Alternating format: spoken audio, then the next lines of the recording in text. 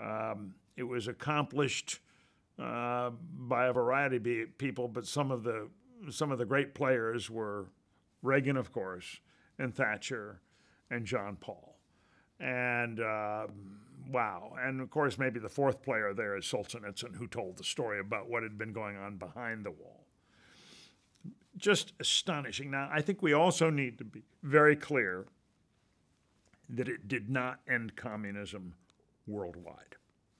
It it defeated it it it, it, it, it tolled the end of communism per se in the Soviet Union, although uh, the incumbent uh, fellow by the name of Putin says the glory years of Russia were during the height of the Soviet regime.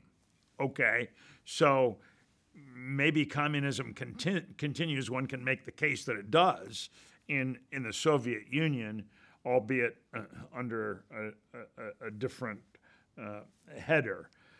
Um, but we we need to remember that communism is alive and well in uh, places like Cuba, places like uh, Venezuela, places like um, largely Southeast Asia.